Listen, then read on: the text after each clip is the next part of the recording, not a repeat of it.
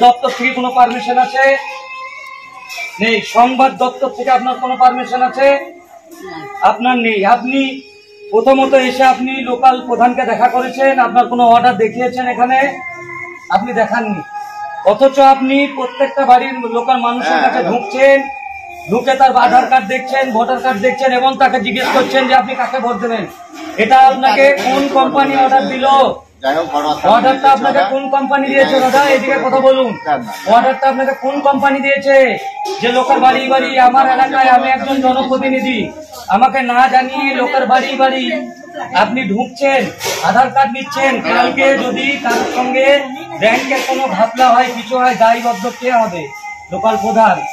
কারণ আপনি আমার আমার পারমিশন ছাড়াই আপনি এখানে সার্ভে করছেন। যার জন্য আপনাকে আটকানো হয়েছে এখানে। না।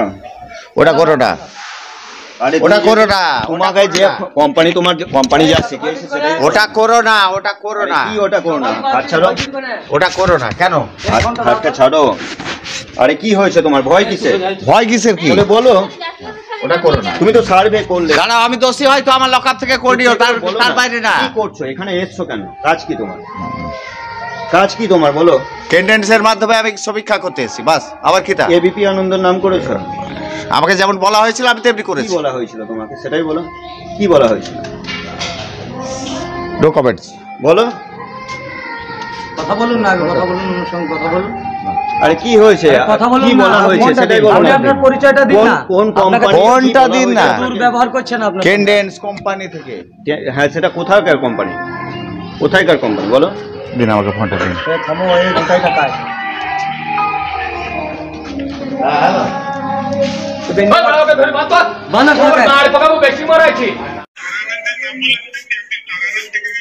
আরে আমাকে তো তাই বলা হয়েছিল আপনাদের একটা ইয়ে মানে ইয়ে। আরে ওই কর্মীটা কাজ ছেড়ে দিল দুদিন আগে। গতকালকে কাজ ছেড়ে দিল আমাকে তাই বলেছিল। আমি সুভাষিস স্যারের সাথে ইয়ে করছি।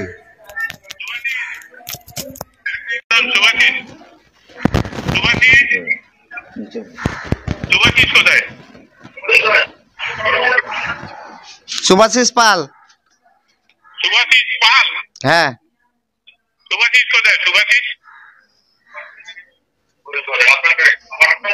সুভাষিস এদিকে এসো।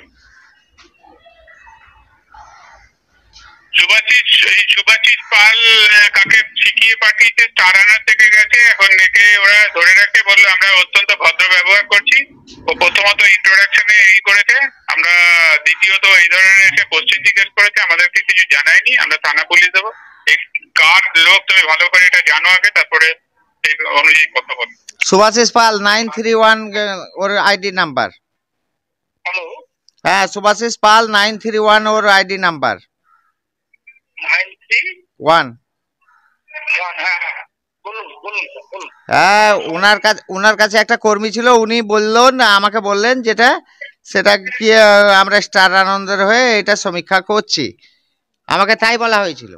আমি যদিও নতুন আমি জানি না।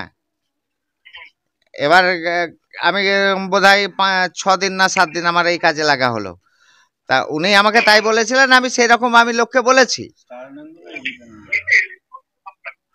এবারে আমি তো জানি না যাই হোক, এখানে প্রধান আমাকে আটকে রেখেছে এবং স্টার আনন্দর না এবিপি আনন্দর লোক এসছে। যাই হোক, আমাকে থানাতে দিচ্ছে, বড়োয়া থানায়, মুর্শিদাবাদে বড়োয়া থানায়। আপনাকে মানে কোথাকার লোক এসছে? আনন্দ থেকে? হ্যাঁ আমাকে ওর উনি হ্যাঁ আপনি দাদা কোথা কারলেন সিএনএল ক্যালকাটা নিউজ সিএনএন। ওনাকে দিন আমি কথা বলছি। হ্যাঁ এই কথা বলুন। বলুন। গুড আফটারনুন স্যার হ্যাঁ বলুন। বলছি আমি কেটে ইন্টারন্যাশনাল এই প্রজেক্টটা কোঅর্ডিনেট করছি। আমার মনে হয় উনি ওনার সাথে কোনো মিসকমিউনিকেট করেছে কেউ। আচ্ছা। ঠিক আছে? আচ্ছা। আহ, আপনি মানে আমি আপনার কাছে পার্সোনালি রিকোয়েস্ট করব। আমরা বেসিক্যালি এই কাজটা একটা ওপিনিয়নগুলোর উপর কাজ করছি। যেটা একদম নিউট্রালি একটা মার্কেট কোম্পানি থেকে ওপিনিয়ন বলতে এরকম না হয় নিউট্রালি সেটাই করা হচ্ছে। হুম হুম হুম। হ্যাঁ, আপনারা আপনাদের সমস্ত কিছু আপনারা আপনাদের সমস্ত কিছু এই যে কাগজপত্র বা যে সমস্ত আইনি ব্যাপারগুলো আছে সেগুলো থানাতে দেখাবেন। ওনার সাথে কোনো দুর্ব্যবহার করা হবে না। তারপর থানা থেকে ওনাকে ছেড়ে দেওয়া হবে। ফার্স্টলি কথা উনি লোকের বাড়িতে গিয়ে জিজ্ঞাসা করছেন আপনি ভোট কাকে দেবেন? এটা চরম একটা আইনের বিরুদ্ধে কাজ। আমি কখনো আপনাকে এই ধরনের কথা জিজ্ঞাসা করতে পারি না। দ্বিতীয় কথা উনি বলেছে উনি এবিপি আনন্দ থেকে এসছে। উনি কোনো মিডিয়ার লোকই সেকেন্ড, আমি আমি বুঝে গেছি। আমরা থানাতে কথা বলব উনি থানাতে আপনি অবশ্যই দিচ্ছেন আমরা থানাতে বলব। হ্যাঁ, ওনাকে ওনাকে বড়োয়ার যে সুন্দরপুর গ্রাম পঞ্চায়েত সেই গ্রাম পঞ্চায়েতের প্রধান ওনাকে মানে চিহ্নিত করেছে এবং সেই প্রধানের বাড়িতেই এখন ও আছে গ্রাম পঞ্চায়েত প্রধানের বাড়িতে। এখান থেকে থানাতে পাঠিয়ে দেওয়া হচ্ছে। আপনাদের কাগজপত্র আপনারা সব কথাবার্তা থানায় বলে নেবেন। হ্যাঁ হ্যাঁ সব ঠিক আছে। কিন্তু স্যার আমি একটা জিনিস আপনাকে জানতে চাই যে উনি যে মানে উনি এবিপি আনন্দে গেছে এই জিনিসটা অনেকটা অবশ্যই একটা ভুল বলেছে। কিন্তু উনি আমাদের সার্ভে ওরিয়েন্টেড যারা যেগুলো হয় বিভিন্ন বিভিন্ন মিডিয়া চ্যানেলে যে ধরনের যেখানে মানুষ প্রবাবিলিটি কাকে ভোট দিয়ে কোন পক্ষে বেশি ভোট দিতে যাবে আপনি মিডিয়া চ্যানেলে বলতে শুনুন মিডিয়া চ্যানেলে কি হয় সেটা মিডিয়ার একটা অন্য এখতিয়ার আর আপনার কোনো সংস্থার একটা অন্য এখতিয়ার থাকে। তো এই এখতিয়ারগুলো তো আমরা জানি না এগুলো থানা পুলিশ জানবে ধরুন। এগুলো আপনারা পুলিশকে দয়া করে দেখিয়ে নেবেন। আচ্ছা আচ্ছা আচ্ছা ঠিক আছে ঠিক আছে হ্যাঁ। ঠিক আছে। ওকে ওকে ওকে ঠিক আছে। থানা যাবেন? হ্যাঁ আসছে গাড়ি আসছে। বাইরে ছিলাম। আমার কাছে কিছু বাড়ি থেকে ফোন আসলো যে দাদা এরকমভাবে একটা সার্ভে হচ্ছে একটা লোক এসছে ভোটার কার্ড আধার কার্ড নিচ্ছে এবং ডায়েরিতে নাম লিখছে এবং মোবাইল নাম্বার লিখছেন ওনা এবং এবং উনি জিজ্ঞেস করছেন যে কাকে ভোট দিয়েছিলেন কাকে দেবেন? এরকমভাবে উনি জিজ্ঞেস করছেন। তা এটা কি? আমি ওই মুহূর্তে পাবলিককে কোনো উত্তর না দিতে পেরে আমি জিজ্ঞেস করলাম যে কোথায় উনি? বলছে এই পাড়ার মধ্যে, পশ্চিম পাড়ার মধ্যে ঢুকে আছেন। যথাযথ আমি ওনার কাছে পৌঁছালাম। ওনার পরিচয় আমি জানতে চাইলাম, আপনার নাম। উনি একটা নাম বললেন, আপনি আপনার কোনো card Aadhaar card I card উনি দেখাতে পারলেন না। আমি বলছি, বাড়ি কোথায়? প্রথমে বলল, বহরমপুর বাড়ি। আল্লাহ, কী করছেন? আপনার কাজ কি? উনি বললেন যে, আমি একটা সার্ভে করতে এসেছি এবিপি আনন্দ থেকে। কোনো ডকুমেন্টস না দেখাতে পারার কারণে আমার সন্দেহ হয়। ওনাকে আমি একদম সরাসরি এবিপি আনন্দতে ফোন লাগাই। ওনার ওখানকার যিনি হেড তিনি আমার সঙ্গে কথা বললেন বা ওনার সঙ্গেও কথা বললেন যে, আপনি আমাদের চ্যানেলের নাম ভাঙাচ্ছেন আপনি কে? আমরা তো আমাদের এই চ্যানেল থেকে তো এরকমভাবে কোনো সার্ভে হয় না। আর আপনাকে কে অর্ডার দিল এই সার্ভে করার? তো উনি বলছেন যে, তখন উনি বলছেন যে, আমি বহরমপুর থেকে এসেছি। আমাকে অমুক বলেছিল, তমক বলেছিল বিভিন্ন রকম, বিভিন্ন টাইমে বিভিন্ন জনের নাম করছেন উনি।